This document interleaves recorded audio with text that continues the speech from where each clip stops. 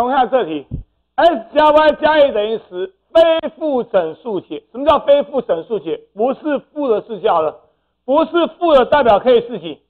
啊，零、一、二、三，以此类推，这样行不行？所以说这里怎么算？这三个相加等于十，所以这题老师可以把它解读成，好像把十个苹果分给几个人？三个人，对吧？哈，所以说这里好像可以把它解读成十个什么相同苹果分几个人？分三个人。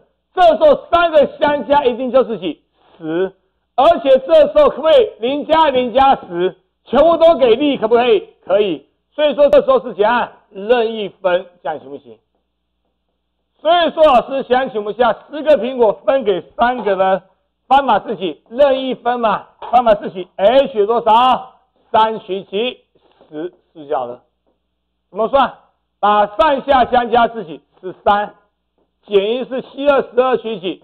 十，七二十二取十可以转换成七二十二取几？二，十二往下写两个，底下再除以二阶，算出来答案是几？六十六，是出来了。可不可以？可以哦，把这边看一下。